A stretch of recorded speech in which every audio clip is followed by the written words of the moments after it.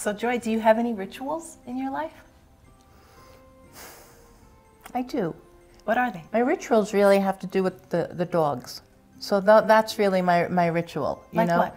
like I pick, like I pick each one. I pick each one up in a certain order, always to go on the bed, and I feed them all in a certain order.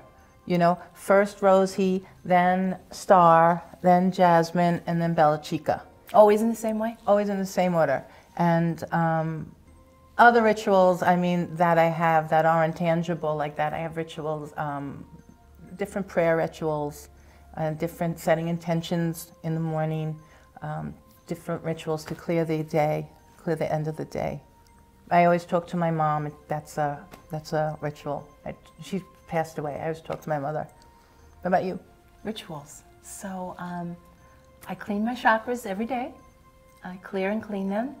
And I smudge the house every day. Oh, I do that too. I call in um, my intention for the day, setting the, setting the intention for each day, and um, clearing out any old energy from the previous day or anything that might be lingering or any, any emotions that I want to get rid of. I send them away. I mean, we do the same thing for the store.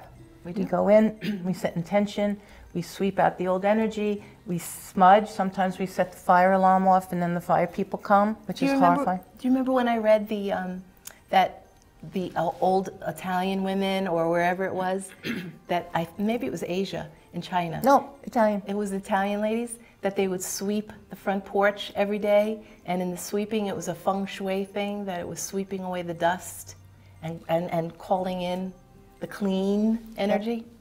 That was neat. Yeah.